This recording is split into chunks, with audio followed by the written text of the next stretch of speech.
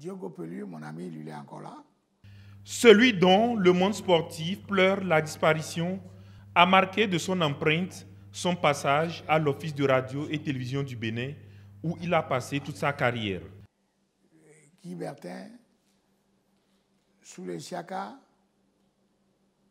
et ça nous plaisait.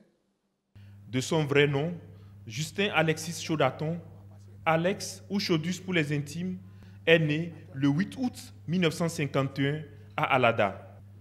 Il démarre son long et riche parcours professionnel dans l'audiovisuel par la radio nationale qu'il intègre en 1975.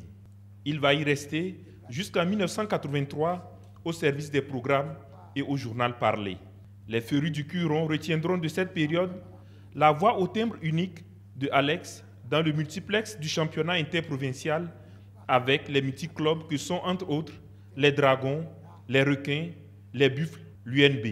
De retour de formation du célèbre Institut national de l'audiovisuel, INA en France, Alex atterrit à la télévision nationale en 1983 où il rejoint ses devanciers, Feu Séverin Boulago et Lucas Sogba.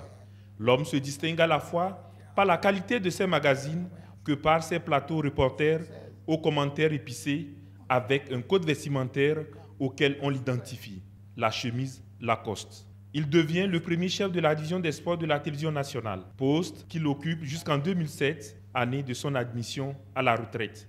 Alex Chaudaton n'a pas été seulement passionné de sport au micro et sur les plateaux de télévision. Il fut un footballeur de talent, surclassé au lycée Bianzin aux côtés de célèbres noms comme Feu Théophile Moncho et Pierre Rochot. Il a été également sociétaire de Asso Porto Nouveau.